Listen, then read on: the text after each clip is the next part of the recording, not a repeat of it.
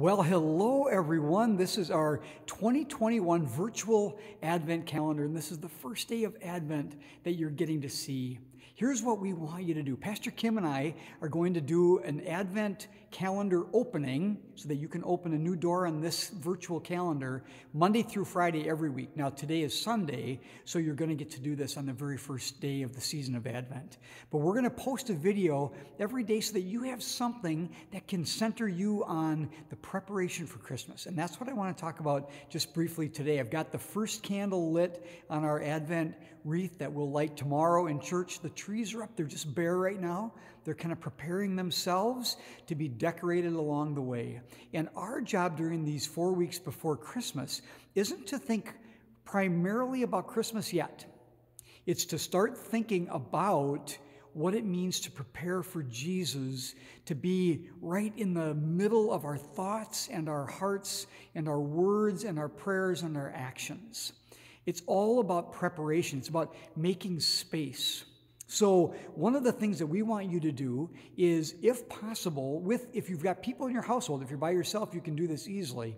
But if you've got people in your household, we hope that at least on every Sunday, you will make space in your day to talk together and be together and talk about Advent. Talk about what it might mean to feel like Christ is present in our world and in our lives? What is it that Jesus brings that's unique to Jesus, that is a blessing and a gift to us? Things like healing, or a call for peace, or, you know, a call for forgiveness, forgiving each other, things like that.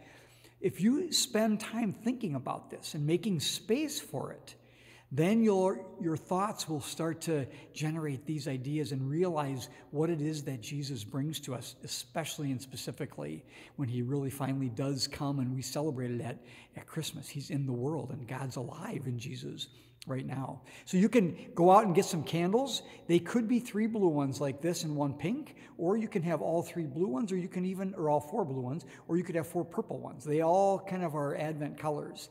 Go to any store and get some and light one each Sunday. Keep adding, of course, as we go, and then have a white one in the middle for Christmas Eve and Christmas Day. Okay, everyone, this is your Advent calendar um, opening day message for this year, and I really look forward to being with you this season. Happy Advent.